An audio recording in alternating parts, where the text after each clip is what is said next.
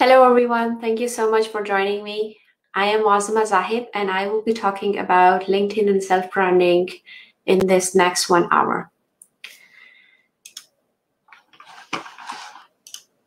So I'll start with my own introduction. Um, I am the president of Pakistani Women in Computing and also a principal engineering manager at Microsoft. I have been in the tech industry for over 13 years, which is a really, really long time. I'm originally from Islamabad and I graduated from NUST back in 2006.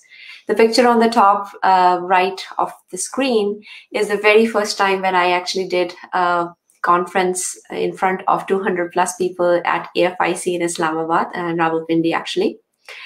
That's a reminder for me to actually look back and see how far I've come and what I've achieved. A fun fact about myself, I'm a mother of three girls, including twins and I am involved in a lot of diversity, equity, and inclusion efforts. So a part of that is Pakistani Women in Computing. So I'm really, really happy and proud about this Get Hired 2020 event that we are doing in US and Pakistan. The Pakistan event is on October 2nd, and I hope I'm hoping that you have heard from a lot of great speakers since morning, talking about how do you build a strong resume, how do you build how do you actually make a strong first impression? And also some generic guidelines about interviewing in tech field this session is very specific to linkedin and how you can use linkedin to actually advance your career and what are the benefits and what are certain features that you might not know about. One small fact this presentation is actually part of the linkedin coaching. So i am an official linkedin coach and these slides are actually official material from linkedin so I'm really, really happy and excited to share it with our PWIC tribe and PWIC community today. So the agenda for today's session is I'm going to talk about what is LinkedIn. I'm going to level set about LinkedIn and how LinkedIn is different than other social media platforms. Then I'm going to talk about your professional brand. What is your presence? How do you actually make sure that you stand out in your online presence? Again, in the context of LinkedIn. This session is, as, as I said, is all about LinkedIn. Then I'm going to talk about the basics of LinkedIn profile. What are the must-haves that you should do today and update your LinkedIn profile? We will talk about networking. How do you network on LinkedIn? How do you connect with other folks on LinkedIn? How do you connect and find opportunities? How do you use certain features in LinkedIn that you might not be knowing about? And there are some interesting um, things that I want to share and some stats also regarding that. And the last, I have exercise for all of you to do. So if you can all actually do that and update your LinkedIn profile after this session, even two or five of you have done that after this session, I think I, I would it would have done justice with this session. So let's get started. So the very first thing, the very most important thing that I really want all of you to know is LinkedIn is not as is the same as a lot of these other social media platforms. For example, if you're eating a donut, you'll take a picture of that and you'll put it on Instagram and you'll say that here is a cool photo of me eating donut, right? The, the other social media platforms like Snapchat, Facebook, Pinterest, all of these have different purposes. The only reason why you should put a picture of donut on LinkedIn is if you're doing one of these things. This is just a hypothetical example so that you understand what is LinkedIn really used for. It is a professional network. It's not sharing random quotes over there. It's not sharing about what you feel about life. It's about how that impacts your professional life and how it impacts your connections. So LinkedIn, if you are sharing a picture of donut, some of the reasons could be that you're looking a job at a donut company or your top skills are actually in donut production and sales. So that would be a good reason why you would actually post about a donut picture on LinkedIn. So just repeating that, make sure that you understand different social media platforms and why you want to use them. I know in some cases we have lots of friends in the same place and colleagues. So we tend to actually share stuff that does not belong in LinkedIn. So again, make sure that you understand the difference and you post stuff in LinkedIn which is related to your professional network. I wanted to share this stat with you. nine out of 10 employers actually use LinkedIn as part of their hiring process. So at some point in their hiring process, they actually looked at your LinkedIn profile. This is a fact. So just let that sink in. So if you've not updated your LinkedIn profile and does not have the right information, there's a higher chance that the employer is not going to select you or or or take you to the next step. So it's really, really important nowadays, nowadays to actually go in and update your LinkedIn profile and keep it current. And I'm going to talk to you about all of the features and all of the things that you should do today. I'll start with some other interesting facts as well. LinkedIn has about 50 million employers every single day, and it has millions of job opportunities. There are more than 706 million professionals and over 200 from 200 different countries that are actually active on LinkedIn. That's a lot of people. There are a lot of LinkedIn groups also. A lot of you might not know that, but LinkedIn groups is a great way to actually meet like minded folks, connect with them, share stuff, and actually get to know them. So that's another thing that you can actually look at. And I'll talk to you about all the other features in this presentation as well. So let's start with the first thing, which is a professional brand. What is your professional brand and how do you define that? Before I define your professional brand, let me ask you to tell me what makes a good brand. How would you identify your brand and show that you are the right choice for the employer? So let's take example of what makes a good brand. Why would you buy a particular brand over the other one? It may be because of the usability. It may be because of their how they market it. It may be because of just the features. So think of you as a brand. When I'm looking at your profile, be it LinkedIn profile or your resume or anything that I know about you, why should I hire you? How do you stand out with the rest of 100, let's say, folks that have applied for the same role? So, what that particular reason why I would hire you is the very reason that your social brand exists. So it's very important for you to identify what makes you unique. What is in your profile that is unique about you? And that particular thing is your professional brand. So let's let's say you you you want to define your professional brand, but you don't know where to start, right? So I'll give you some pointers. Where can you start? Where can you start building your professional brand? And where can you start putting that out in your LinkedIn and other social media as, as well. So you must be thinking, so wait, I have my own brand? Yes. So who are you? That's the question you need to answer. And what makes you unique? As an employer, you shape your future. You can shape your brand by the way you present yourself to others what you put out on your social media, especially on LinkedIn, is your online professional brand, is how I will find more about you. I will get to know more about you, and I can understand how you're good versus the rest of the employers as well, uh, rest of the rest of the candidates as well. Why do we need to do this? Why do you need to actually have a brand? Is the same as why should I choose you? So why so many companies spend so much time on their branding? Why do we spend a lot of time building up these logos for, let's say, Get Hired event? Because we want you to know that this is our thing. This is this is who we are. Same exists for you when you're applying for roles. So why I should choose you is the reason why there is a brand about you. I really really highly want you to recommend recommend to you that you should think about what makes you unique. What are your top strengths? What are your top weaknesses? And start from there.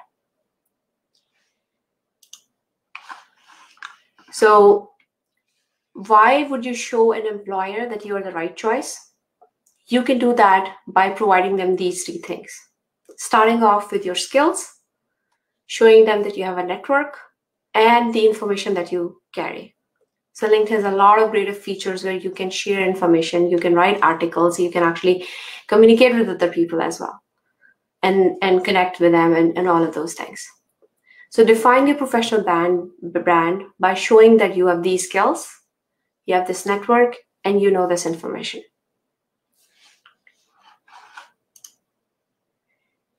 And one thing that a lot of you do forget is beyond the skills and information that you carry and the network that you have, you have certain values and goals. LinkedIn is the perfect place to actually put that out there as well. Because in resume, you don't have enough enough space left to actually write down what are all the other things that you do. For example, in my LinkedIn profile, I have all of my volunteer work mentioned there, including Pakistani Women in Computing and others.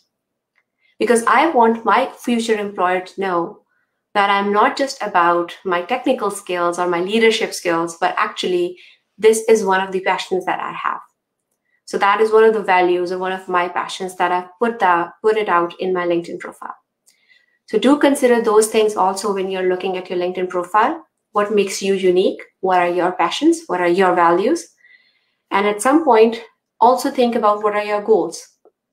LinkedIn has a section, I'm going to talk about that in a few minutes, where you can definitely put your future goals, next one to three year goals over there. So a future employer or a current employer can look at that and think about where you want to head over.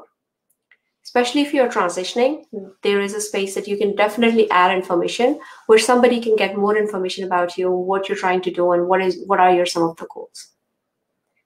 At any point in the presentation, if you have any questions, please leave them in the chat.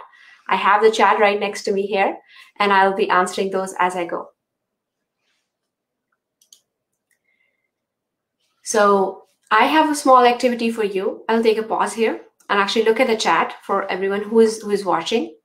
If you can take a minute to define what are the three words that how your friends define you, that are unique about you, Tell me three words how your colleagues define you. So think about how would your friend define you? Are you a loyal friend? Are you somebody who's trustworthy? What are those three features, top three things, your top three strengths, how your friends define you? And think about a, a future colleague. If you're a current student, then think about your fellow student who you have done a project with. How would they define you? What are those three terms they will use? And I will look at the chat and see what are your thoughts about that? And the reason we're doing this activity is these three things are really good starting point for you to actually put them in your LinkedIn profile. So let's let's check on the chat if you have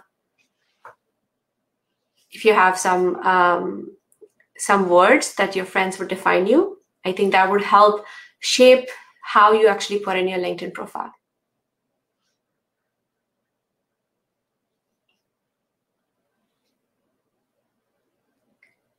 Some of the examples of uh, how somebody as your colleague can define you is you could be a good team player, you could be passionate, you could be technical. They could say that you are the best AI learner. I see somebody saying loyal, logical thinker, brilliant. Awesome. I love the logical thinker part over there. You have somebody saying passionate, enthusiastic, and determined. Really great.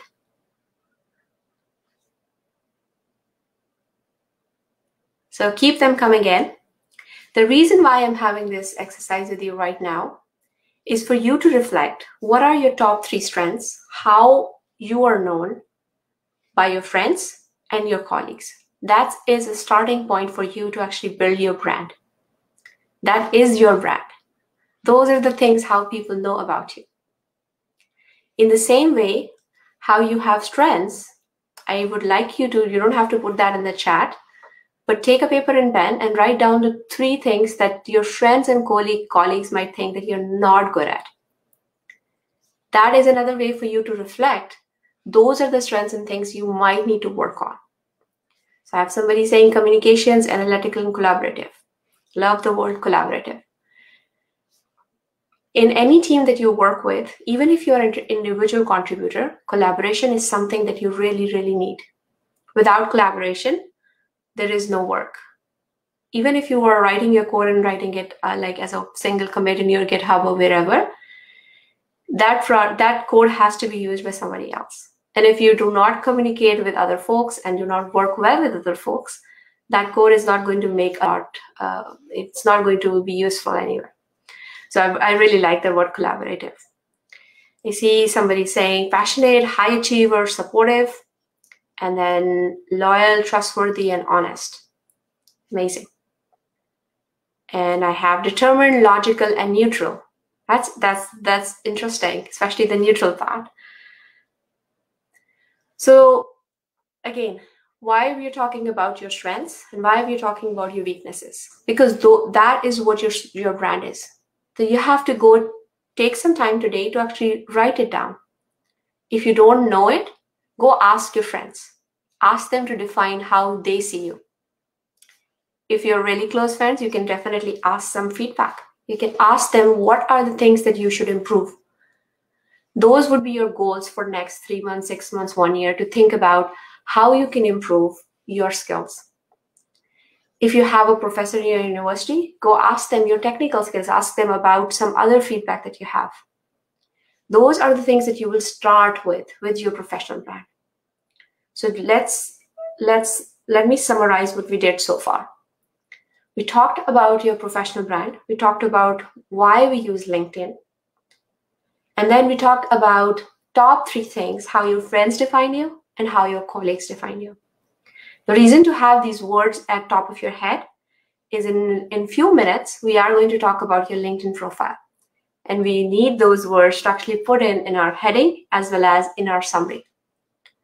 So if you don't have those words coming right now, please take some time to write down. If you don't know still, go ask your friends. Have a have a nice coffee chat with them or tea chat with them and ask them to tell you what your top three strengths are because you will be surprised sometimes. Uh, you think of some other stuff, they might give you some feature that you might not have thought about because some of your close friends know you the best. Same thing, if you have a good colleague that you work with, a person who's done a project with, ask them to give you feedback. If they, if uh, constructive feedback to improve, and if you have some skills that you they want to share with you, ask them. And you will find that those two things would be very close. There would not be much difference if they are very very far apart let's say your friends say that you are the best technical person in the world and the and the person that you work with does not think so then there's some work for you to do. Because that's that's where there should be the most alignment. Of course your friends know you in some other ways. There would be some different things for example loyalty and those things might not be in your with your colleagues list. But think about that so try to th- think about those three, two things in different ways and see how you can align them. What are your strengths and what you can improve? And that is a starting point for your brand, your professional brand and your personal brand in terms of your friends. So now we'll switch gears towards LinkedIn profile.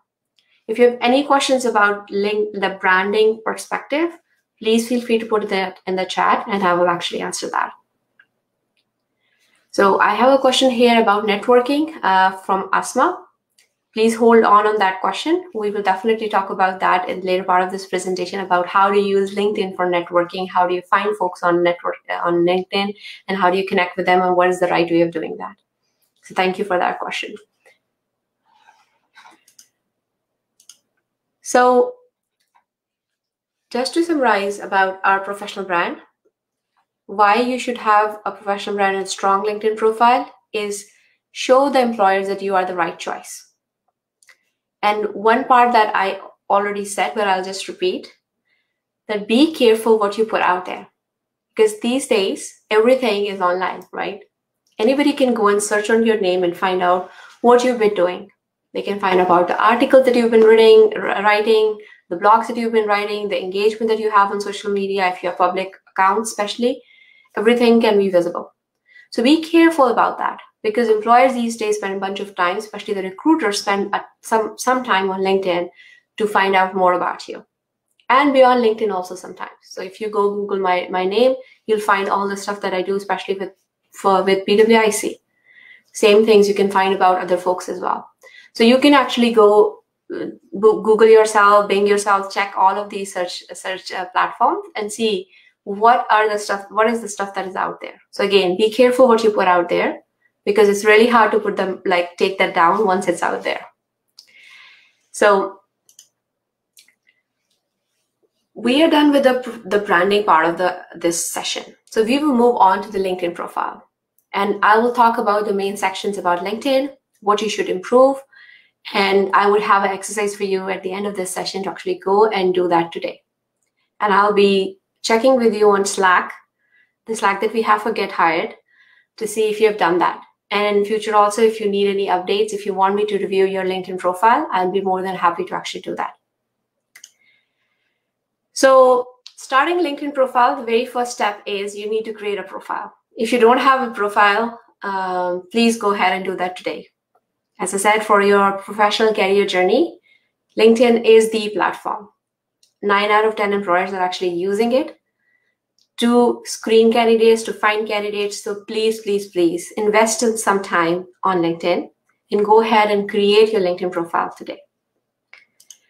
After you have created profile, there's this common question a lot of people ask is what's the difference between LinkedIn and resume or your CV? So I would tell you this is my perspective and this is how LinkedIn thinks and how they are different. LinkedIn is a 360 degree view of you. It talks about not just your skills, your achievements, your coursework, and things like that. It also talks about other things like what makes you unique? What are your passions?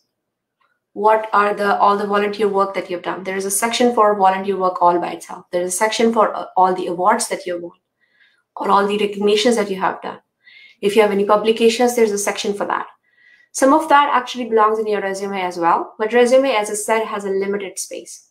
There's a lot of focus on resume to actually put in the skills that you need for the job that you're applying. Resume could be different for every role as well. And I'm, I'm hoping that you've heard that from the session this morning and all the other recordings that we have on uh, PWIC page. So resume is, is a summary of everything. It's a very short summary. It talks about what you've done and why you're applying for this role. LinkedIn is actually going beyond that. It talks about all the other things, all of your experiences, your skills, what you're good at, and then all the other things that makes you unique. It could be the volunteer work, it could be a, a student committee that you're lead of, or something like that. And also talks about your future passions. So I'll explain that in a few seconds, in a few minutes, how, where you can put that. So that's the big difference between the two. And you can read through that and and and talk about that. Resume is only when you're applying for a particular role. LinkedIn is out there and anybody can go and find that. So it's it's talking and it's talking to your future employer. So for example, if I'm not in the market right now to actually switch jobs, my LinkedIn profile should still reflect what I'm doing. So if a future employer has an interest, they can still reach out to me and say, we have this role. Would you like to apply for it? And you never know. A lot of my job switches actually happen through LinkedIn. So LinkedIn is a very, very, very powerful tool. And I would highly, highly recommend you to actually look at it, build a very strong profile and stand out. And this session should help you with that. So starting with the first thing that you need to do. I have a lot, I have a lot of people reach out to me on LinkedIn. And most of the time I don't know who they are and how do they look because they either don't have a picture or if they have a picture it's really old. Or it's it's it's a black picture or something like an avatar or something like that. So the very first step that you have to do today please please please do that. Take a picture of yourself with a good background and you don't need any fancy equipment to do that.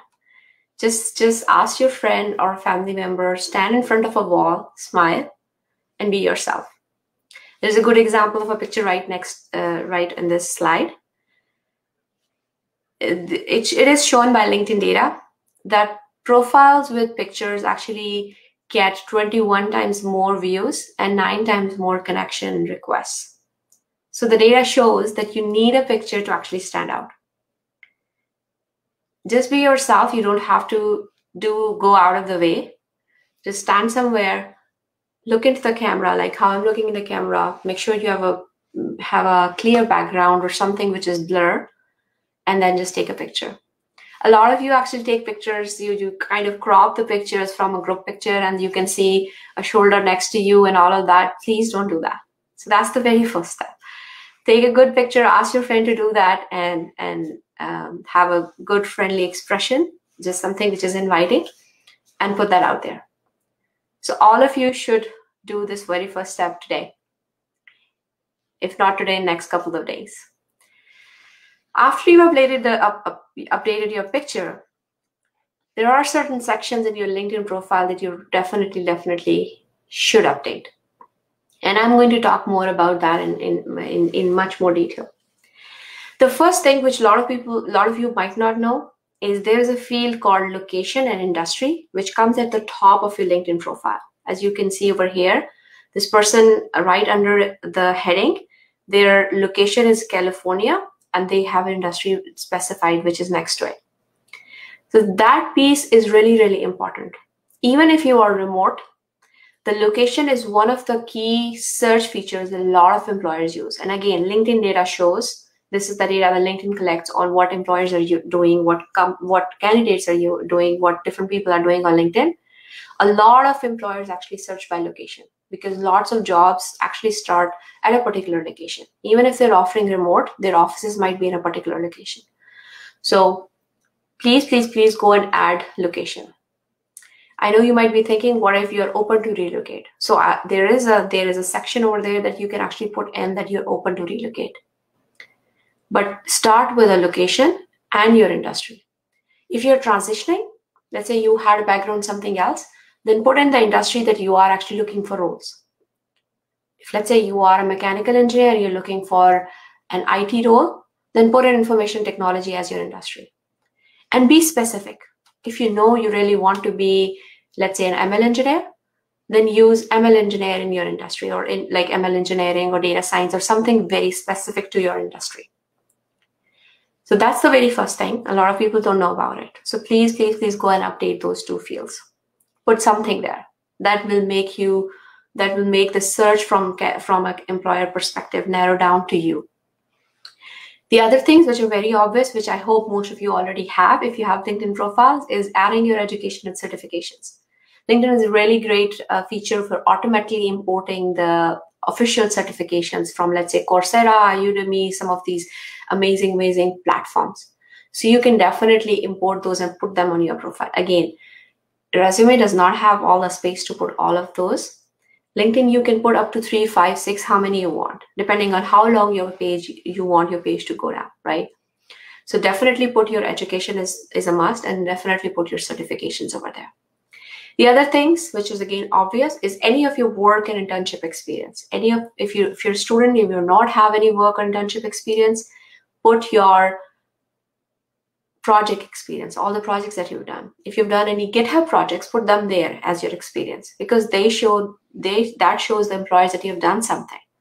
And you don't have industry experience, but you have done something either open source or as part of your projects. Skills, of course, nobody will hire you if you don't have the skills. So put all types of skills there, not just your technical skills, but also your other skills. It could be communication skills, it could be presentation skills, it could be any of like soft skills as well. So please put that. Then this, I already talked about it, the volunteer experience. That's a great thing to actually put in your LinkedIn profile. I have all my volunteer experience in my LinkedIn profile. I would highly recommend you to go and put that as well because that tells me how you're unique what you're passionate about, and, and what are the other things that matter to you. And then if you are part of any program or organizations, like for example, I'm part of, of PWIC, you can definitely put that there as well. There is an optional LinkedIn that you can enable if you want people to know where you went to as school or college as the headline as well. So you can enable that or disable that. As you grow higher in career, it's not that important from where you studied. So it's not maybe that important uh, if let's say you're five years, seven years, 10 years experience. But if you if you're fresh out of college and your college is actually something uh, that matters or is one of the top universities from Pakistan, definitely enable that so they can see it in their headline. They don't have to go through the profile to actually find that about you. So those are the main sections that you need to update. Please spend some time today to actually do that. If not today, in next few days. Because your job search, even beyond this career fair, actually can happen on LinkedIn. And LinkedIn has several, several, several ways to actually get that. And I will share some more in, in later in the slides as well. The second thing, the third thing that you need to do in your LinkedIn profile beyond those things is the headline. I have seen a lot of interesting headlines, and, and some of them are really, really creative. The reason why we talked about those three things in the morning, uh, in the start of this uh, presentation, it's sorry, it's morning for me. I know it's nighttime for you all. Um, is those could be some good good words to actually put in your headline. So why you need a good headline is when an employer is searching, that's what they see. So you can look at the left hand side. When I search for somebody, I see their picture, I see their name, I see a one line summary about themselves, and that's actually coming from the headline. So you have to gain the attention of employer in that few seconds with that headline so that they go and click on you. So it's really, really important to have a really good headline out there. Headline could start, there are some examples that you can take. For example, here you can talk about what you're doing, what your passions are, and, and, and where do you align with the industry that you're talking about. So again, thinking from think from an employer perspective, if I'm looking at like 50, 50 of the LinkedIn uh, profiles, and this is all I see, why would I go and click on you? So think from that perspective and update your headline accordingly. The next section that you need to update, again, this is something most of you might not know, is that in the LinkedIn search, in the top few pages of the search, employers only see the profiles that have at least 40 words in their summary page, in their summary section. So if you don't have a summary section which has at least 40 words in it, you will not be shown as the top search in LinkedIn. So the summary section is right there. That's the one on the top of your LinkedIn profile. And I know that for sure. A lot of you don't have enough words in there. So they don't have you don't have 40 words. So that's the first thing you should do after change, changing your picture as well. That go ahead and update a summary section. Some good practices about summary section. Again, this is a guideline from LinkedIn. You can change it accordingly based on the industry and the work that you do. Is you can start with one or two sentences about who you are. And uh, there's a good example over there that the person is saying that I'm a dynamic speaker, program manager, and diversity inclusion advocate. Then you can start three to five in second paragraph as a three to five sentences about your experiences, your top skills, and key passions. So that paragraph is really, really important. It's like a summary section of your resume, but very, very like summary section resume is super short. Here you have up to 40 words or more to describe what you are. So explain the key top skills. Don't write each and every tool and each and every skill that you have in this section. Please put the top things that I should know about and that should resonate with most of the employers think about multiple employers, not just one company that you're looking at. So put you put the key skills over there. Let's say you are doing machine learning with with TensorFlow, whatever those those those two Python or R or Node.js or whatever your platform of things that you are good at. If you're front end developer, back end developer, put that there with the key key skills and passions that you have. Then in the last paragraph, in one or two sentences, Describe about your future goals. So as I was talking about previously, that's the right place to actually talk about your, your future, what you want to be, what you want to do. What are the things that interest you? For example, these days I am looking and doing a lot of work on IoT. So my third paragraph talks about the Internet of Things and how I'm passionate about that. So you can actually divide your summary in this way. This is a good starting point for you to actually go and update that. Again, if you have less than 40 words in your summary, you're not actually showing up in the first two or three pages in the search anyways. So please spend some time today again today, next few days, to update the summary section of your profile.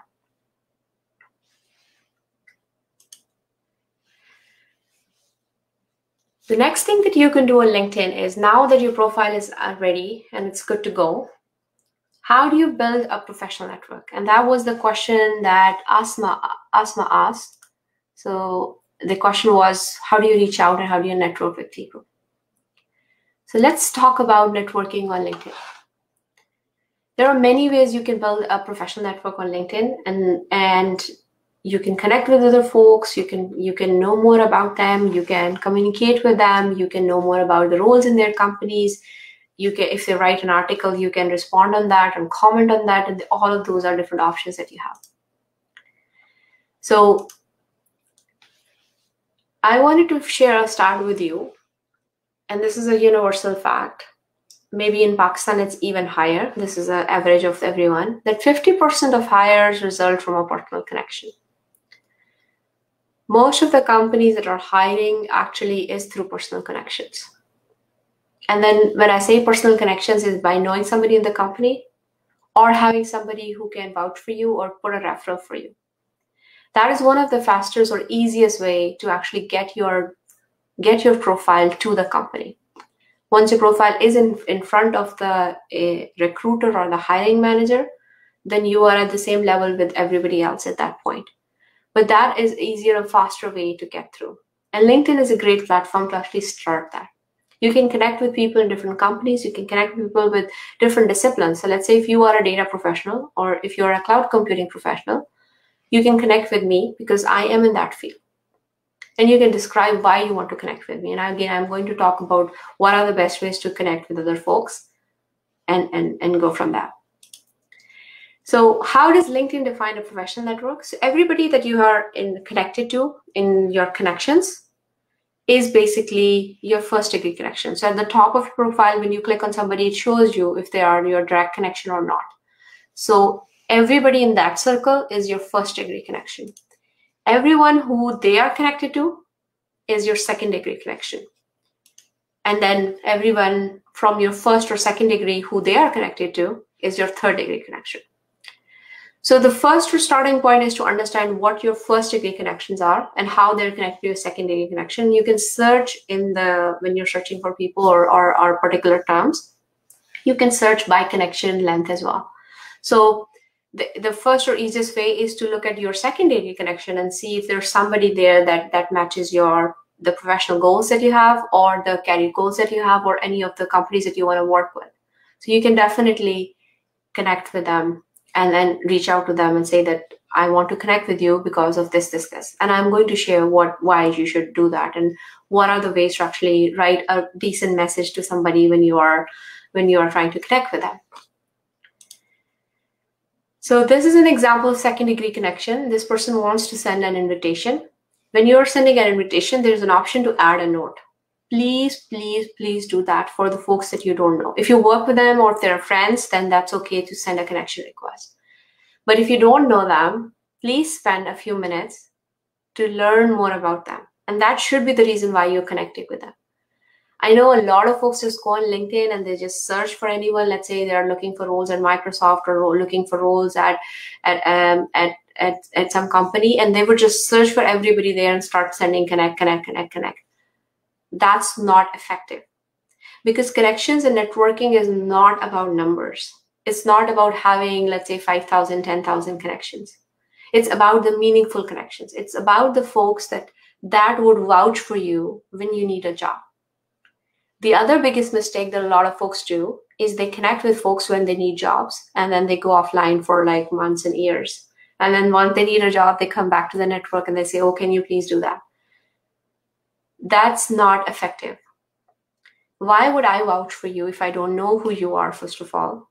Why would I vouch for you if I don't know what your skills are? If you're not active on on LinkedIn and I don't know what you're up, what you have been up to, why would I put a referral for you? So networking, meaningful networking is really important. I'm not saying that you cannot do based on opportunity but you should always think about to keep your network warm. Let's say if you have 100 connections, you don't have to be in touch with all 100 of them all the time, but build your network in a way that those folks can become your peers, mentors, allies, and sponsors and understand the difference. Those are the folks that can vouch for you when there is a role in their team. And they would only do that if they've seen something from you. So, two things I'll just repeat. I cannot emphasize enough on that. Do not randomly just start sending connect requests to everybody who you think would be a future employer for you.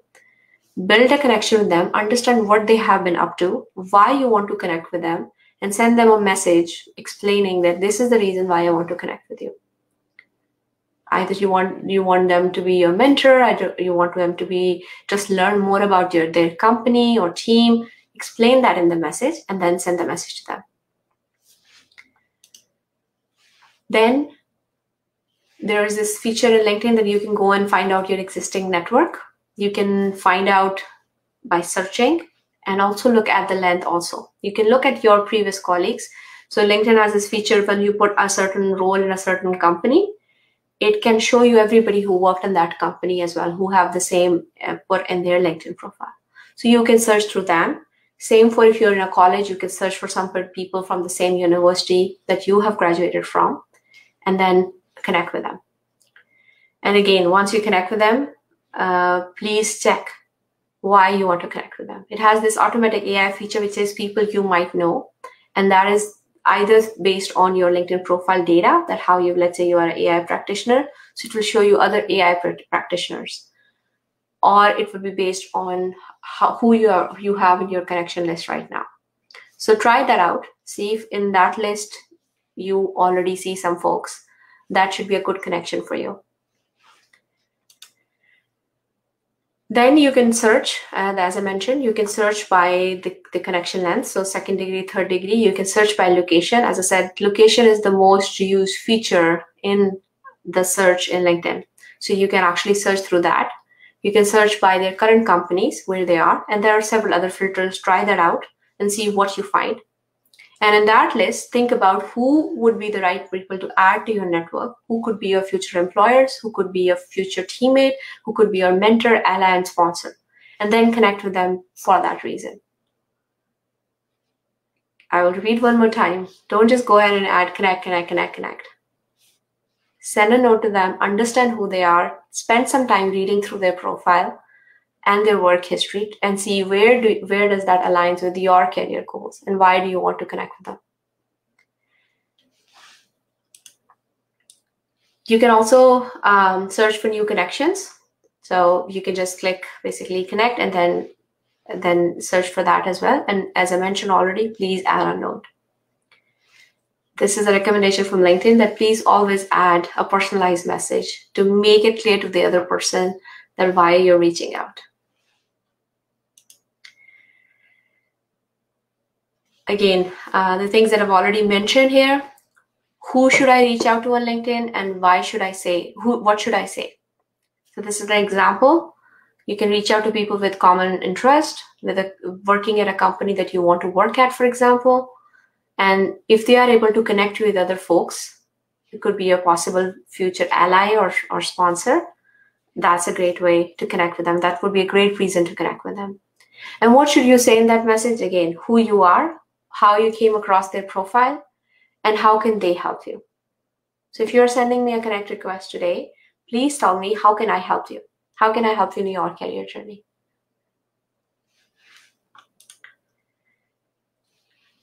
So these are all the ways that you can actually, I, I, already talked about the connections and how you should build your network on LinkedIn. Keep the connection warm. One of the ways that I do is, is some of my mentors or some of my peers or some of my previous colleagues I set up coffee chats with them or or or, or tea chats with them every few months. I basically have a 10 minutes, 15 minutes, sometimes 20 minute slot to just hang just just just ask about what they have been up to, what what are the things they are excited about, if there anything that I can help them with. And that keeps me connected with them. That keeps the connection warm. And there's a question, uh, I think before that if I can review your LinkedIn profile. Yes, I can definitely review your LinkedIn profile. Please join the Slack that we have for Get Hired. and uh, I would be reviewing the LinkedIn profiles over there. So if you send me your LinkedIn profile link in next week or so, I will definitely take some time out and review it and give you some feedback over there. So this is a fact again, as I mentioned, a lot of hiring happens through connections. So LinkedIn members are four times more likely to get hired when referred. So this is again in the LinkedIn data shown that there's a higher chance for you to get hired if you're referred through the company. So through somebody who works at that company. So why would somebody refer you? Is again all those things that I already talked about. If they know what you're up to, what your key skills are, and if you've kept the connection warm.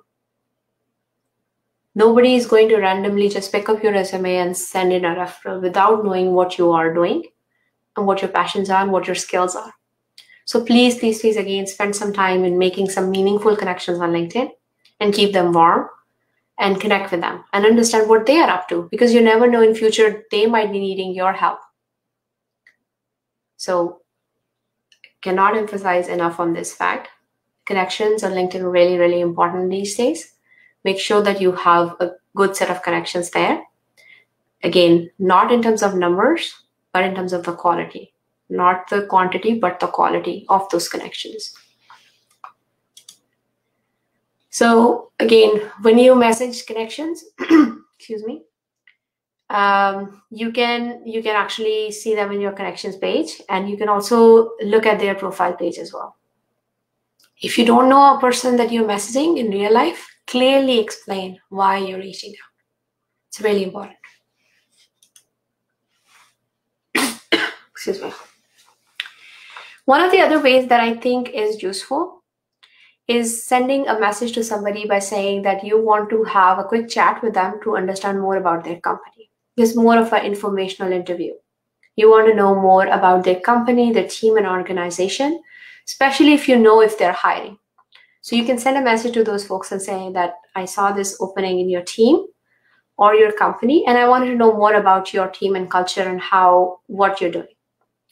If they're open for a chat, then you can send them a message and send them this connection request, and hopefully they would reply back. A lot of people don't reply back because sometimes they don't look at LinkedIn, sometimes they're not interested to to spend some time, but it never hurts so if you're really, really looking at a particular company and a particular team, you can look at LinkedIn and search for those folks in that team and reach out to them by explaining that this is this is what I want to have and I want to chat with you and understand more about your company and culture and what you do in your day-to-day life. And and hope that they will reply back. That's another way of reaching out and building some connections with them. And once you've talked to them and once you've told them your elevator pitch, what you're up to, there's a higher chance that they will remember you even if they don't have a position right now if they have a position in, in future they will think about you and they will say oh i know somebody who i talked to like one month ago they would be a good fit for it so again this is one way that you can reach out to folks and ask for a review or an informational interview the other option is is directly ask referrals as well. So that's an option as well. Again i would i would recommend you to go this route. If you really really know the person or if they know you a lot of people even if you ask they might not do referrals for you. Because if they don't know who you are if you've not been a good like a long connection with them and they have not seen anything from you it's really hard for somebody to put your name put their name next to your name and saying that i'm referring this person for this role so again if you have meaningful connections if you have some some some people working in these companies where you want to apply ask them to put a referral for you and this is the example message that you can send them and say that I see this opening. Could you please refer me for this? And hopefully they will do that. I put in a lot of referral for Microsoft. A lot of folks that I know, I've put in referral for them, and a lot of them got hired as well. The reason I do that is I I spend time with you understanding what you've been up to, what your goals are, and then actually I refer based on those. And in future also, if I find some role which is relevant, I try to kind of remember that I talked to you and you are one of the persons who knows this thing and that's a good fit for you. So definitely referrals, a lot of people do referrals. You can ask them, but only if they know what you've been up to. That's the that's the only reason why anybody would refer you, right? So that's a great way of doing networking on LinkedIn. Um, request recommendation. That's another feature a lot of you might not know. So if you've worked with somebody in the past, or if you have a, colleague or a, a, person, or not, let's say you're a student, you have somebody you've done a project with, or, or a professor who's a, who has a LinkedIn profile, you can ask them to put a recommendation for you, which is a section in the LinkedIn profile, and they can put in some good words for you. That's again something an added bonus on your profile. They can leave some good remarks about you. Once they put in a recommendation, uh, it's up to you to put it on your profile or not. You can show like hide it as well. Let's say you don't like what they write, so you can hide it as well. But this is a great feature. You can ask your previous colleagues, you can ask your professors, you can ask other friends or like uh, people you've worked with in terms of like professionally in some project that you've done with to leave a recommendation for you. There's another feature in LinkedIn where if you when you put skills, other people can endorse those. So endorsement is another way of knowing that they have seen you do those skills. So for example, my if you look at there, so cloud computing, a lot of people have endorsed me for that because they've seen my work doing cloud computing.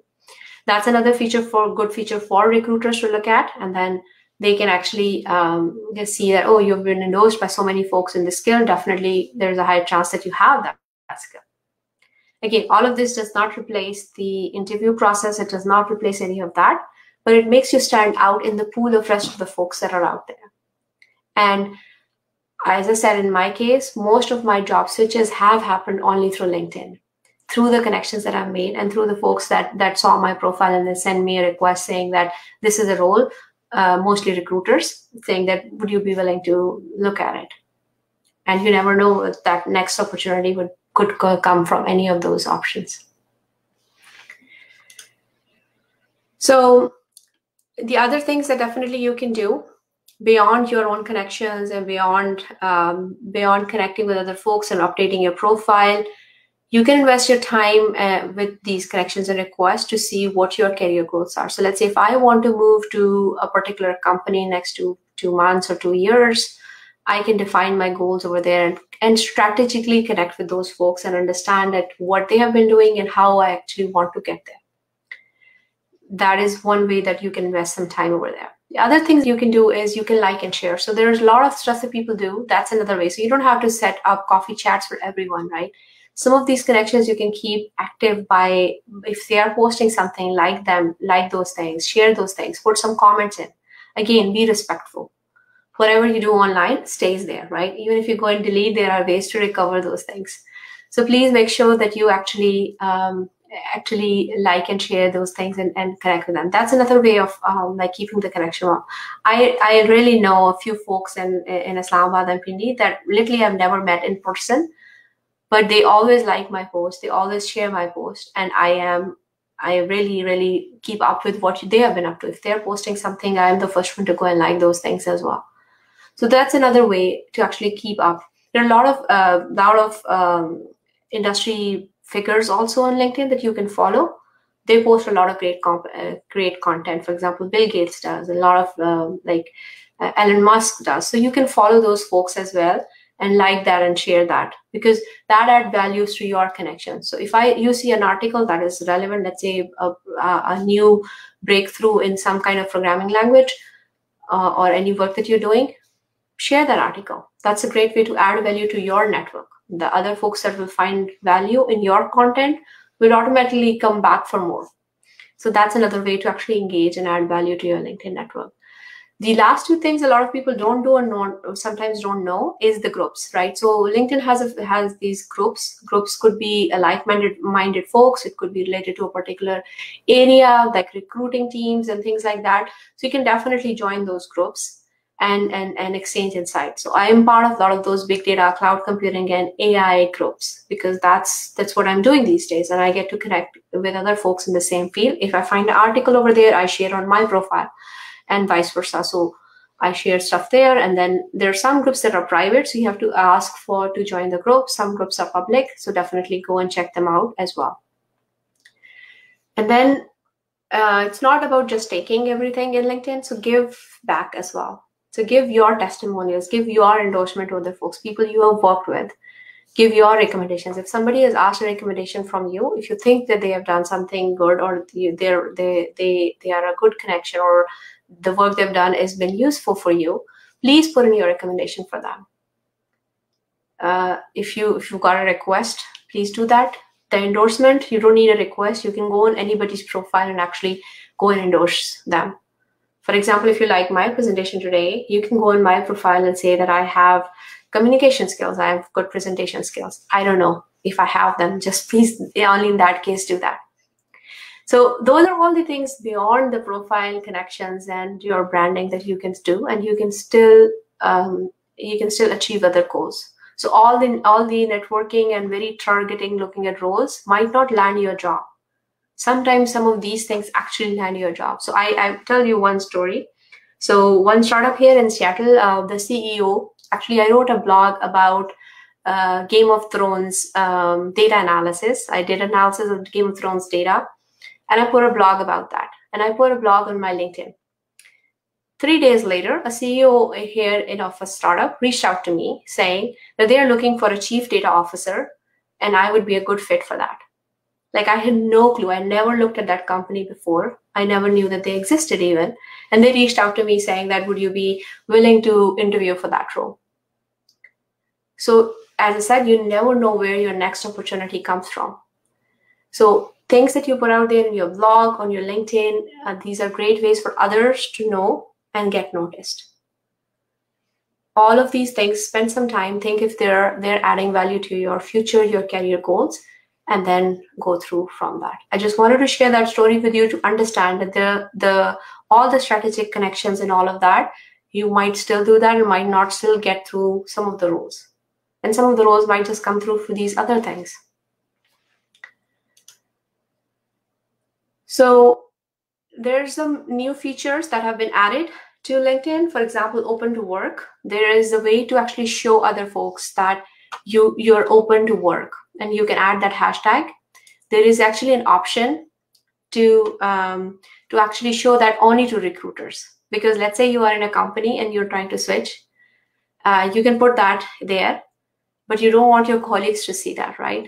So LinkedIn is very smart about that. Only recruiters will be able to see, but there is this caveat that recruiters from your own company would be able to see that as well. So if you're really open to work, uh, you can definitely put that in your profile. Uh, this is another interesting fact. There are 34 million plus job seekers on LinkedIn, and there are so many millions and millions of jobs every single day added.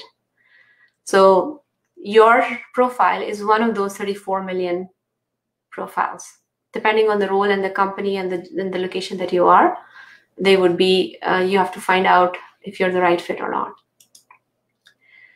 so that's the feature i was talking about the open to work feature you can add uh, that you click get started using the option on the top card for your profile and you can add that and you can choose whether you want to share it open to work with your linkedin members only or um, with with all the LinkedIn members or just the recruiters. So you can choose that. And it will make this uh, like a green um, circle around that. And you can add what types of ro roles that you're actually open for as well, like in the example here. So that's a great feature. Check it out if you're looking for roles and update your LinkedIn profile based on that. Uh, other things that I want to quickly go over um, is other things that you can do in LinkedIn is to how do you search? So you can search in LinkedIn through all of these things, through a keyword, through a job title, based on a particular company. You can actually add alerts.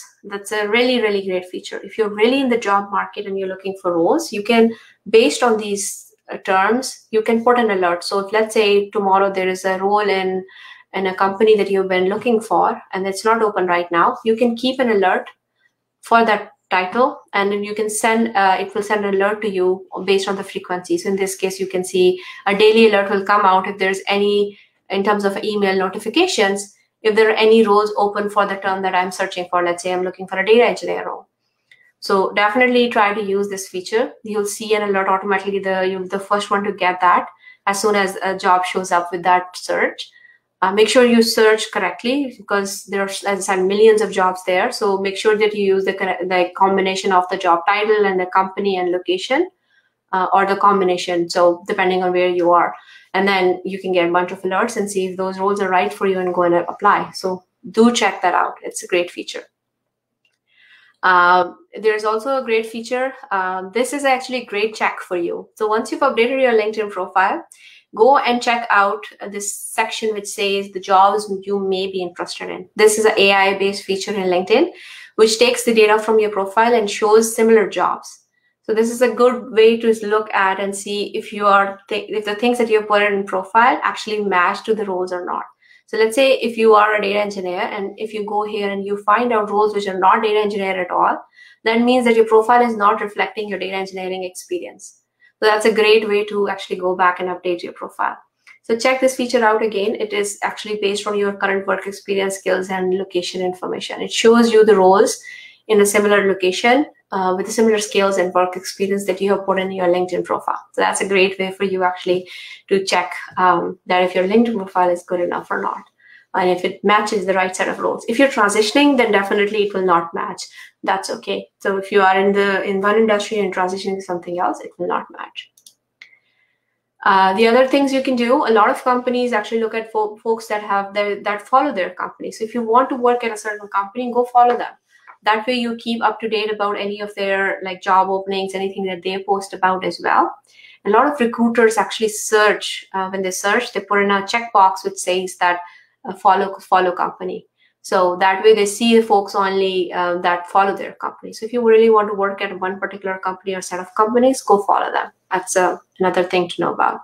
As i mentioned that the recruiters do filter some specifically on sometimes on uh, people who follow their companies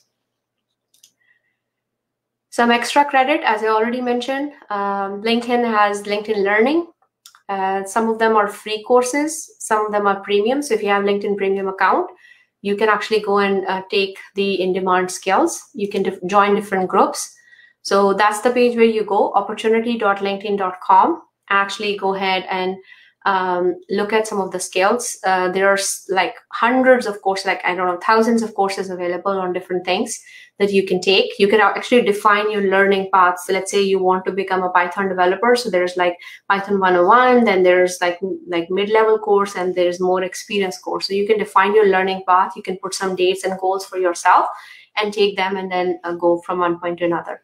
So there's a really great way. LinkedIn Learning has a lot of great content. Um, please check that out uh, beyond LinkedIn Learning, there's a lot of other online places where you can go and upskill yourself on several things. And it's not just need to be technical; it could be anything like presentation skills, leadership skills, any of the soft skills. There are like hundreds, hundreds, hundreds of those courses out there.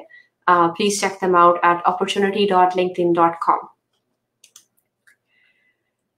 Uh, there's this also the soft skills as I mentioned. So that's the section it talks about like the soft skills. Again, check them out. Uh, see if any of those courses make sense to you. There is this section which is really really important for job seekers. So there's a section for uh, prepare for interviews. Uh, there's interview prep, video tips, and all of those things. And there's a practice of like 26 or so behavioral questions. So questions like, tell me about a time when you were not able to deliver on time. What did you do? So there is this very interesting course and um, some content on LinkedIn Learning. Go check that out. Um, again, it's on opportunity.linkedin.com. Join groups. I explained that already. You can meet other people in the same industry. You can meet your alumni, people with similar interests, and you can stay connected. With that, I'm done with my presentation for this session. I will actually go and uh, go through the questions now, but I do have some resources for you that you can actually use for your um, for your uh, for your LinkedIn profiles. So if you go to this link, which is the tiny URL uh, y62xz2ft, a really mouthful to say that. Uh, that's the link that you can use. Uh, there are four resources over there. This is all official LinkedIn material. Uh, please do not do do not do any copyrights type things over there. This is LinkedIn material, so use it for yourself only. Um, when you go there, you'll find four materials. One of them is actually about um, as a student what you should do. There's one about all the things that I talked about today about what you should update your profile with. So your exercise at home today is to actually go ahead and do these three things. First, practice your brand statement. Practice who you are. What's your elevator pitch? How do you make a very strong impression? And why, in context of LinkedIn, is use that in your summary and your in your headline. That's the first thing you need to write down and put it in your LinkedIn. Then you have to go and update your summary, picture, headline, and skills. That's the minimum you need to do. And then all of the other things that I talked about, adding connections, doing LinkedIn courses, connect with other people, all of that are additional add-ons that you can do. So with that, I'll keep the link up. Uh, this is my LinkedIn and Twitter. You can follow me and you can connect with me if you think I'll be a right fit for you uh, to add any value to your network. Definitely send me a message. I will connect with you. With that, I'll go through the chat and see if there are any questions that I've missed and, um, and I can answer those. So there's a question, should should we be specific in our LinkedIn or we should write in journal? For instance, my interests are machine learning, programming development, computer vision, but they are totally different fields. Yeah, so the, uh, Bilal, the question I think um, it's it's very relevant. Uh, I think it depends on what you want to do, what your future goals are. If you want to stay in a specific field, let's say you are excuse me let's say you are um, you're writing an algorithm with computer vision or you are working on a particular algorithm on computer vision then you should be specific and then you should write about that only. But linkedin as i said is a 360 degree views of you. So you can definitely go beyond that one area and talk about your other interests so my linkedin and, and i and again I, and a general advice that i have for you especially if you're starting off in early in your career it's okay to not be very specific because you're still trying out different things. But if I see somebody with five years or six years of experience and they have like six different disciplines, then what it shows me is that they don't know what they want to do. So as you grow higher in your career, focus on the things that you're really good at and tailor your profile based on that. That would be my feedback if you're starting off or you're early in your career, then you can definitely add other disciplines. And some of the things that you mentioned here, I think they're all kind of related. So data analysis, machine learning, computer vision, they're all related. So I would not say that they are like very different. So definitely, I think you can add that. And you mentioned programming. So this is again a common myth. Again, this session is not about that. I, since I'm in the data field for last 13 years, a lot of people think that uh, to be a good data scientist, it's okay to be a not um, not be a good programmer. I I don't think that's true. So uh, they you need to have good programming skills. You need to have good statistics skills, and you need to have good analysis skills to be a excuse me to be um, to be um, um, to be a good data scientist. So again, I will I will mention that. Um, give me one second. Yeah. So uh, so please try to be as as as specific as you can as you grow higher in your career. But if you're early in your career, try to it's okay to put more stuff there. Hope it answers your question. Uh, next question we have is I've transitioned from finance field to project management and now have an experience for four years. How to brand how to brand that? Okay. So same way, right? How I explained to you, you can talk about all the previous experiences, but in the summary section, you can definitely add what your passions are, what you are doing. If you are transitioning, if you're doing any type of certifications for project manager, let's say PMP or some of those things, please put that out there because that tells the employers that that you are interested in this field and that's why you're transitioning. Um, so in LinkedIn experience section, put the ones that you already have. In the skills section, if the one the skills you already have, think about what are the other things I want to mention here. When you're transitioning, there are skills that you can transition. So let's say you are in the finance field, but you might be good with numbers. So you might be good with uh, the soft skills that you could have communications, working with diverse teams, working collaboration. So those skills are transferable from one to another and try to make sure that your LinkedIn profile highlights those skills so that you are more attracted towards where you're going. Again, if you have any certifications in the field that you're going, please mention them because that adds value. If you don't have work experience in the transition, like where you're going, then some types of certif- some types of uh, certifications, things like that are really helpful. So really highly would recommend that to look at that and, and add that. And how do you brand yourself? Again, you brand yourself by putting it out on your LinkedIn that you're passionate about this, this, this, and this is what you want to do in your summary section. In your headline, also, you can add that, that you're looking for project management roles or not just looking, you could just mention that project management uh, experience, whatever you want to put over there. So that somebody who's looking for project managers, once they look at your profile, you, they see that you have the right passion to actually do that. And then you've done something related to that, some kind of skills that a project manager needs are in your profile. The other question, next question, moving to that one, Lal. Um, I have a, I made one page resume and a fresh graduate. I will also another CV which is two pages to describe all my projects. Which should as in the last interview, you saw details. He suggested to use details to two pages. Do you have any suggestions? Okay. I think uh, it varies by companies and the person who's interviewing. I personally do not fret on if I get like two pages um, resume, but I know people in my team and other teams and um, that don't have that much time to go through everything that you write in your resume, right? So the longer your resume is, the longer interviewer has to spend to understand what you've been up to, which they should be doing anyways. But a lot of people don't have that kind of time. Just being very honest with you. So one page resume is important. Um, in, is good in two ways. One, it's easier. Um, it's uh, easier for somebody to get a quick glance of what you've been doing, and then highlight in a way that your top two, three projects should be on the top. Again, Milan, if you're on the Slack, please send me your resume. Also, I would be happy to review it and and give you some feedback. I could also give you feedback what you can trim, what you cannot trim. In terms of your, if you're a fresh graduate uh, the resources that I shared early on, it has more information about what you should do on your LinkedIn um, as a student. And, and some of that applies to your resume as well. So what I don't like in resumes, this is just my personal opinion, is when you're describing a project, you describe each and every technology and tell me like everything that you've done in the project. That does not actually solve, like that does not help me answer the question that why should I hire you? What you should write in your work experience over there is what you did it, why did you did it, and how did you did it.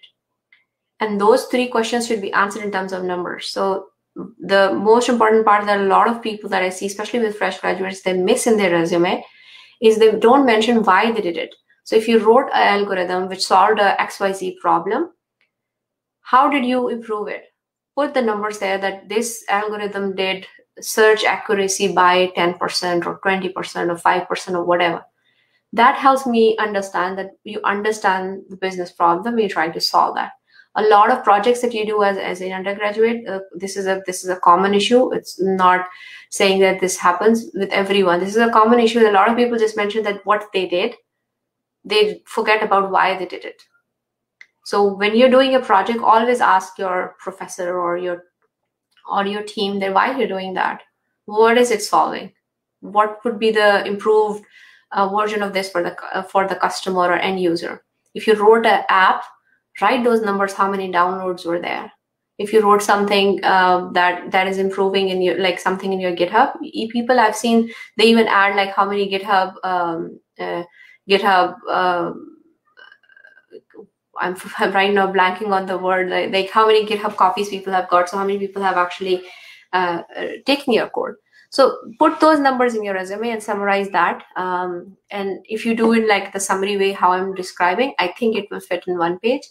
At max, two page. Uh, but honestly, uh, these days, nobody has time. Time is of the essence. Nobody has time to go through five, two pages, even three pages of resumes. I've seen like four pages resumes as well.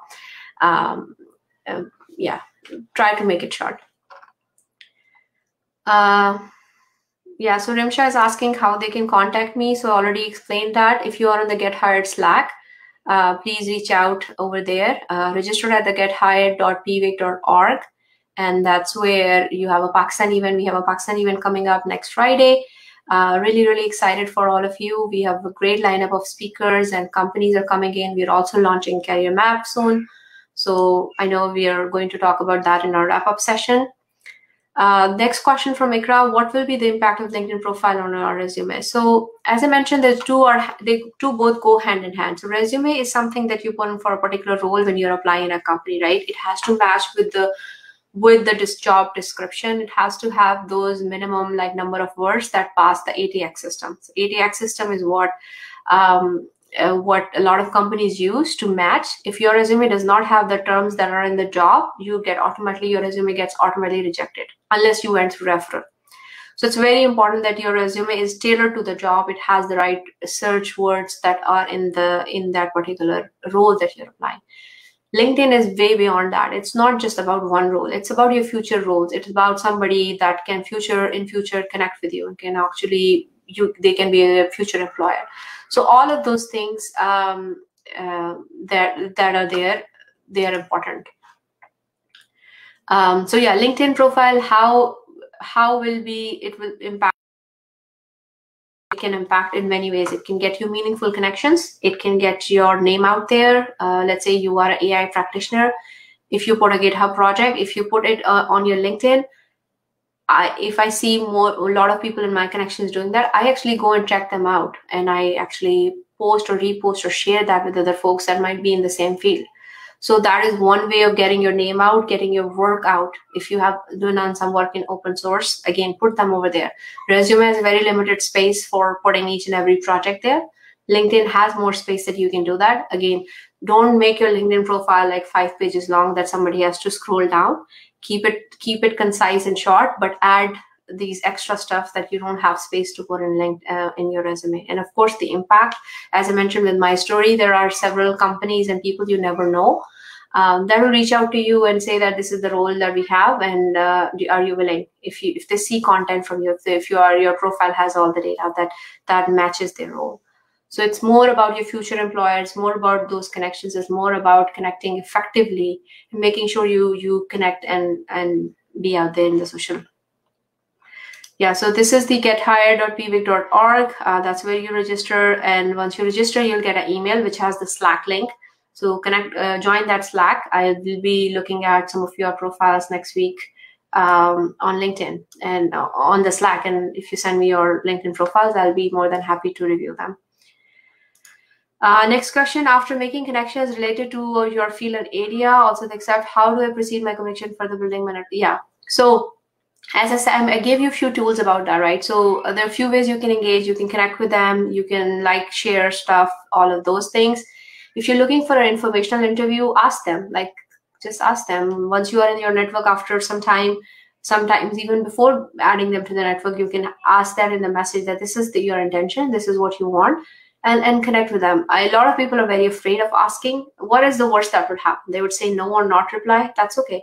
I mean that that happens so um, just ask them. And again, a lot of people uh, do that only when they know you, right? So the way to know you is again all of those things that I mentioned. You you kind of stay active on the LinkedIn profile. You like the stuff that they are doing. You reshare the stuff that they're doing.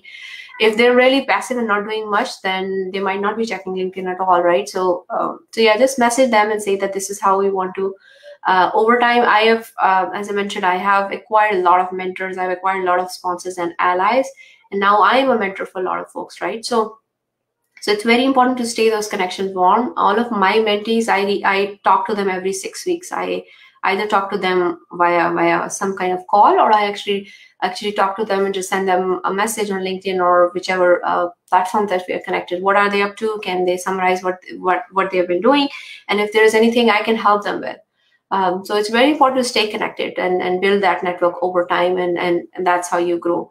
Networking, there was a talk yesterday in our US event, Network is Your Net Worth. Uh, we will upload that video soon. Please check that out. It's really, really great talk and talks about a lot of great things. Um, so active networking, warm connections, making sure you stay in touch uh, and building that over time with your mentors, sponsors, and allies is very important. One thing I, I want to tell you that the same set will not remain forever, right? The mentors that I had six years ago, they are now, let's say, my peers, right? And in future, they could be my sponsor and allies in other ways. So you, that that relationship can change, but they are still in my network. So the titles and how they interact and interact with them might change. So you never know what what what's there for you in future. So uh, yeah, I would say just recommend you to to message them, but again, only if you think they're they are um, that's the right way of doing that, and if they are the right connection for you to do that. Uh, how can I register? So already mentioned that. So, you know, I'll just put that out again. Go to gethired or pwic.org. There's a Get Hired 2020 Pakistan event on the main page. Register for it. There's a form. You'll put some information. Once you register, you'll get an email which has the Slack link um, that you should join. Uh, is this session recorded? Yes, Maham already re uh, replied on that. Um, so yes, this session is recorded. Uh, and you it will be available for you uh, to view later as well and you can share and like and other things um, yeah this is a good question from Bilal who are the right people uh, we should ask for referrals? Uh, the one who posted the job or can we ask some teacher or someone doesn't know about the job post posting? Yes. So referral the person who is posting the job i think most of the time recruiters are the one who are posting the job. So and most of the time they are not going to be the one who put the referral.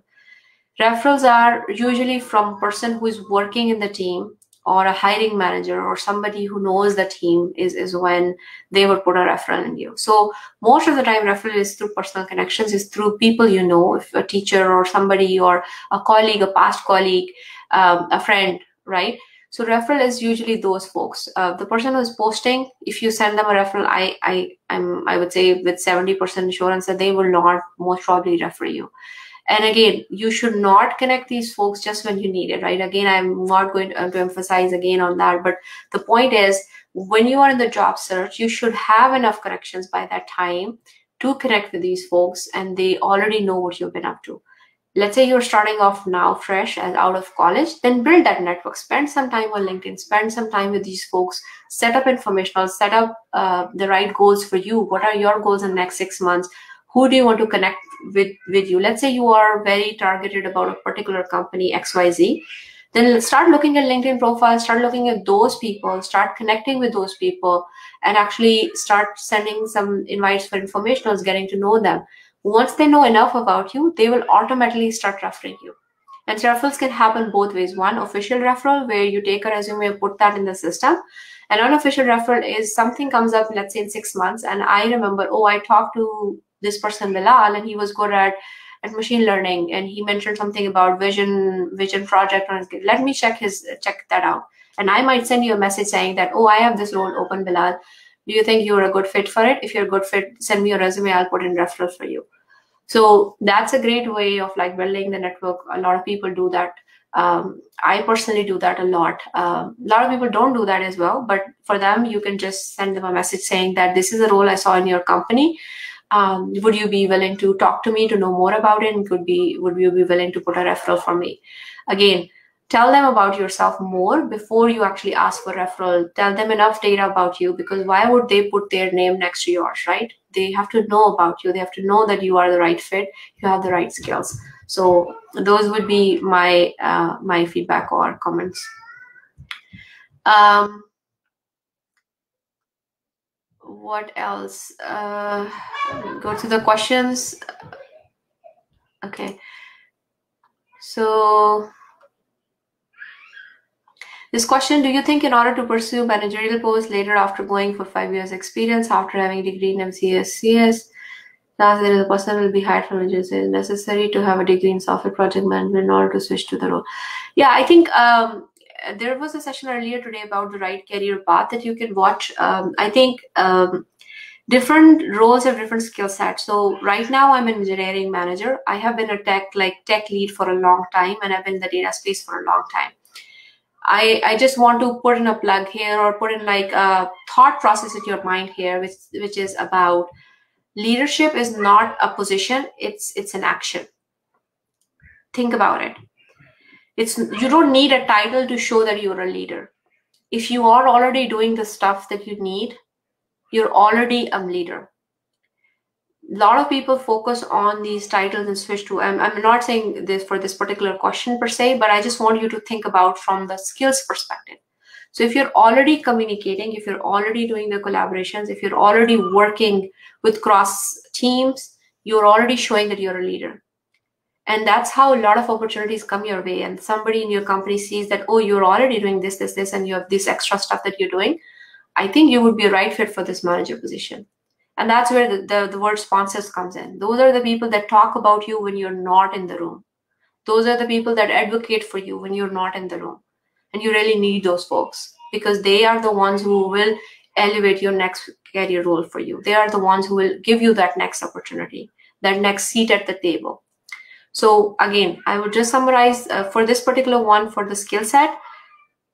I think for a managerial positions, there are few few skills that you need. One, you need to have uh, different people have different managing managing styles, right? You can look about there's like seven man um, seven principles of um, leadership, and you can read more about that. But uh, the as a manager, every team is different. What I'm looking for a manager in my team, or what I'm looking from my manager, is having that mentorship, coaching, and then understanding of what is the strategic uh, strategy for my team, where we should take from today onwards right? So it's it's important to have those skills. In your company if you have those backgrounds you've taken a break or if you've switched different uh, kind of roles i would recommend to talk to a manager in your in, in a similar role and ask about what they do in in their day-to-day basis. What are their key deliverables what are the skills they think are the right fit and then go from there. So definitely talk to those folks. And um, i think if you even if you switch roles and you've switched degrees you don't need to have all the things that are defined in there. You, if you have some of the skills and you have the right soft skills i think for a good manager having the right soft skills are really really important. Technical skills if you're engineering manager yes but not that important as soft skills. Because if you're a really really good technical person but if you can't solve your employees problem like if if they they come to you to a problem and they're not able to solve that you're not empathetic. If you not understand those things you're not going to be a good manager. So i would recommend uh, to go and talk to current managers in your team and um, and see what what the skills they have. Uh, talk more about them what a typical day looks for them what are the top two or three things they look for when they are promoting folks in, in a similar role and and and and see where the gap is and and, and try to do those um, those. And as i said leadership is an action. So if you're already taking actions in your team and you're showing that um, there's a chance the leadership already knows that um, that you have the right skills so somebody said that they want to connect with me on LinkedIn. Definitely, I will connect with you. Send me a request. Um, I will connect with you. Uh, can a person having degree in MSCS and certain certification data science uh, domain can pursue career in this field and later can achieve a scholarship or data science? I want to know how much high chances there to earn Fulbright. Um, I don't know if I know enough about the Fulbright scholarship uh, scholarship process. Um, I'll definitely take this question and ask other leads. Uh, we do have a scholarship lead. Um, her name is Aisha Javed in PWIC. I will definitely ask her to reach reach uh, back to you. Um, I've taken this question. Definitely will get back. I honestly don't know the answer about um, the Fulbright scholarship part of it.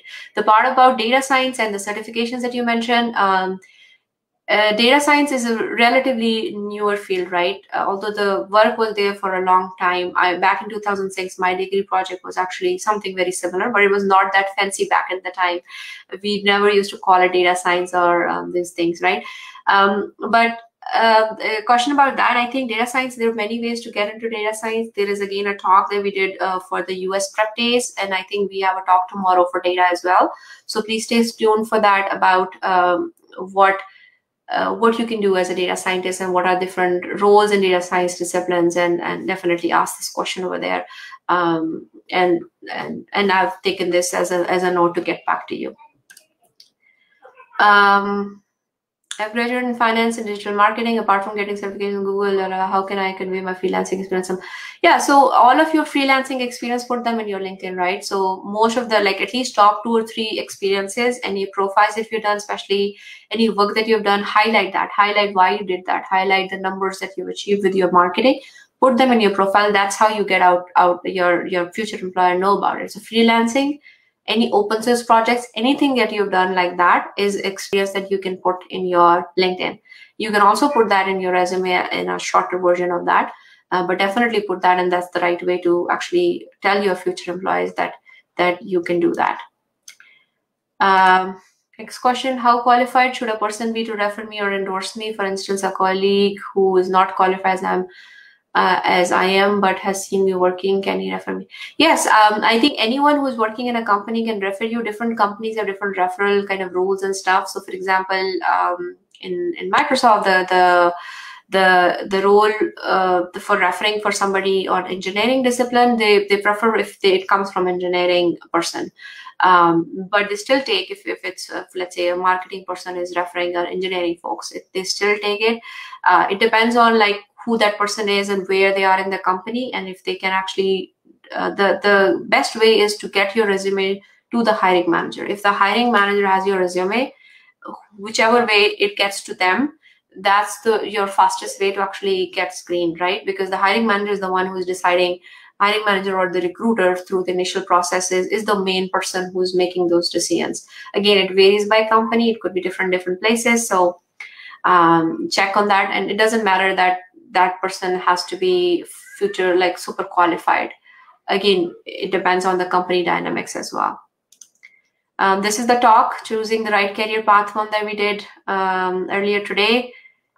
And I'll take one more question, which is um, as my final project was in blockchain, not have intentions job fresh in blockchain, so I should change my career again. Uh, that's that's a good question. I think let's have a chat chat offline on Slack about and if you can send me your LinkedIn and resume, I can I can look at your your current projects and advise you based on what you've done so far and say and answer those questions based on that, right? Because I don't know enough based on just the blockchain thing and then say, because there could be some um, skills in your blockchain experience that you can take to a more generic role. Let's say you're mentioning about React Native and stuff. So let's talk offline on that. Share your LinkedIn profile, profile to me and your resume on the Slack, and I would be happy to give you some feedback based on that. Uh, one one last thing I would like to say: a lot of people actually just change disciplines because they don't see roles um, or they don't see jobs. That's a good reason for you to do that. But if you're really really passionate about your field, um, then uh, one advice I would I would just say that don't give up. Right? If if, if blockchain is something that that really is your interest, uh, wait a little uh, there would be somebody who's who would be hiring right it's blockchain is really coming up and there are a lot of roles coming up in that area so uh, that's just my personal advice. It's up to you if you want to take it. Uh, but yeah please share your linkedin um, and your resume with me and i can i can look at your skills and we can have a discussion about what are the things that you can do further and and what are the skills that are transferable. And yeah, this is the other profile, uh, other other session from today, which is building a very strong profile. Please check that out. We also had a very uh, great session about uh, this one, the the career path. We also had uh, one about uh, having a strong impression. So please check them out on our Facebook page, which is the Pakistani Women Computing. And if you go to the videos tab, you will find all of that there. So it seems like I've answered all the questions. There was one that I've taken a note for for the Fulbright scholarship. Um, I think. Okay, you've shared on the Slack. Okay, that's great. Um, I will take a look at that um, after this session, sometime today or tomorrow or Monday, and I'll get back to you, Bilal, on this. Um, so, so with that, I'll put the link again to the resources if you have not noted it down yet please go to the resources, take some time today to actually uh, update your LinkedIn profile, share your updated LinkedIn profile with me. I'll be happy to review it and uh, we can go from there. Um, with that, uh, the session is ending. Um, we are going to have um, Maham, Zobia, and Jannat back to answer and do wrap up of your first day of uh, prep days. And I'm going to just hang out here also to answer any questions about the overall Get Hired event, um, any other questions that you have. And uh, again, thank you so much for joining me for this LinkedIn session. I hope that you go today and update your LinkedIn profiles. I hope more, more, more of you see you on LinkedIn. I'm very active on LinkedIn, so um, definitely, um, definitely would like to connect with you. And Bilal, I see you're saying that should I send you? Yeah, send me your two pager CV as well. If one pager, then better, but two pager is also fine. To send that over, I'll, I'll have a look at that.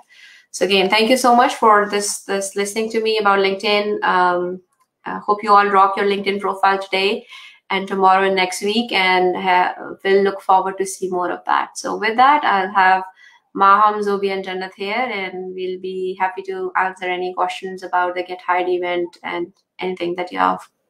Thank you.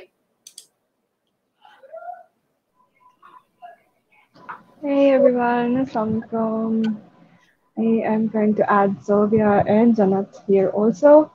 And um, so thank you so much, Muazma. That was an amazing workshop slash, slash session. And even I learned, I thought I was, I had a kick-ass LinkedIn profile, but I learned a couple of things. So thank you so much for that. Um, no worries.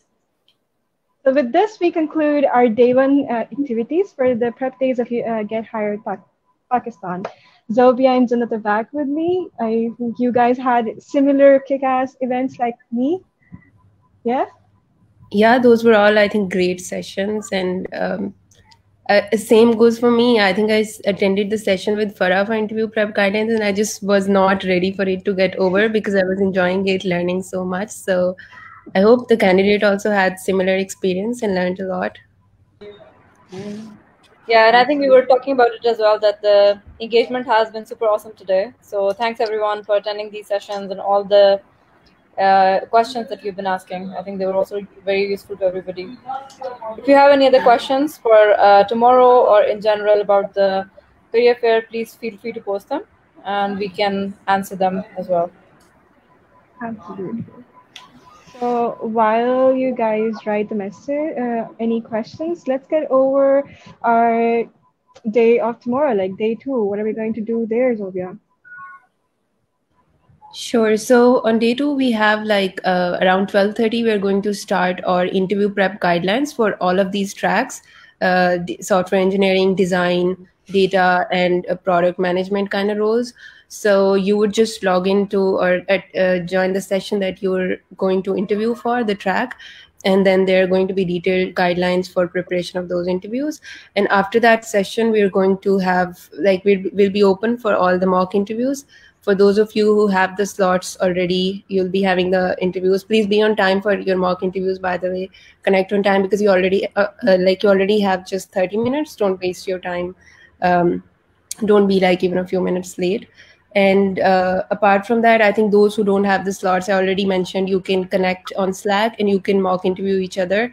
You could please start a thread and ask others who, who might be interested to also do the mock interviews for the same track and in, mock interview each other and learn from each other.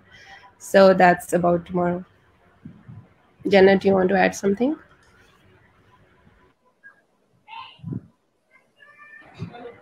No i, I think that's that's all I'm also just sharing the agenda that you were talking about. So everybody's clear on the timings, but uh, I think most of the mock, uh, mock interview slots are now booked. But if you uh, still find something, feel free to book it, and uh, feel free to also like take advantage of that. Absolutely. A couple of tips about tomorrow's mock interviews. Uh, all of the people who have gotten some sl slots, like Zoe said, be on time for sure turn on your video cameras. Treat this like a real interview you would have with a real person a real recruiter. Uh, if you want your resumes to be uh, reviewed just bring them along and ask your mentor if they would uh, they, if they're open to it and maybe some are and they can give you like a, a very hands-on approach to that also. Um, and i would really like to get over get over a couple of faq points here like uh, what Muazma said, we are about to launch a career map very soon for Pakistan Day. We had something similar with uh, the our North America region. So career map is going to be uh, visual aid for all the companies uh, that have listed their jobs in Get Hired, and you guys can just go over there. Uh, it is open for all candidates, all registered uh, Get Hired candidates, and you can just select any company. It, it's it's the kind of like how a virtual representation of how an actual career fair is. You have smaller booths, you have rows of uh, uh, rows of booths, and you can just click and go to their specific uh, pages, and you will see all of their jobs listed for that specific company, and then you can apply from there for sure. So I see a question about how to book a slot for interview. Uh, can you guide again? So all of the mock interview slots are available on the gethired.pwic.org page in our prep uh, uh, prep uh, tab. Make sure to select Pakistan and check for any few any open slots. Uh, I know uh, I have opened up some slots for myself, but I know that all of my slots are booked. They got booked really fast. So I cannot really um, guarantee at the moment that uh, slots are available, but definitely do check them out. Maybe there's some some still are. So yeah, that uh, would be it from my side, I think. Yeah, I think just wanted to add a few things. So next week you should expect two or three types of communications coming your way. Uh, definitely, as as Zobia and uh, Jonathan mentioned, join the Slack. Slack is the fastest way to get all the announcements. Um, follow our social media pages like our Twitter page and our Facebook page. We have all the updates coming that way. Monday is when we are announcing the career map. Uh, if not Monday and max Tuesday, it would be announced. So the moment it gets announced, all the 18 companies that you've heard in the morning um, that are coming, amazing, amazing companies, they would have their landing pages with all the roles that you can go and start applying. So of course, the sooner you start applying, the sooner they can start screening and they can actually get back to you. So keep keep an eye out for that announcement. It's really important for you to go and start applying. But before you start applying, you need to have your resume. You need to have everything updated. So that's why we're having this this weekend. So spend some time this weekend to update your resume and, and make sure that it's up to date and use the resume review Slack channel for us to review that. Uh, the second most important announcement that you'll have next week is, is how to join the event that's happening October 2nd.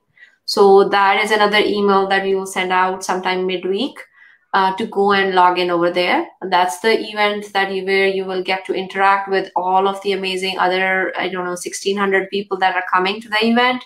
All of the hiring managers that are coming to the event. We have some really really really great inspirational talks. We have an IT minister coming, so it's it's a really really uh, full day of lots of great um, uh, great connections that you can make there.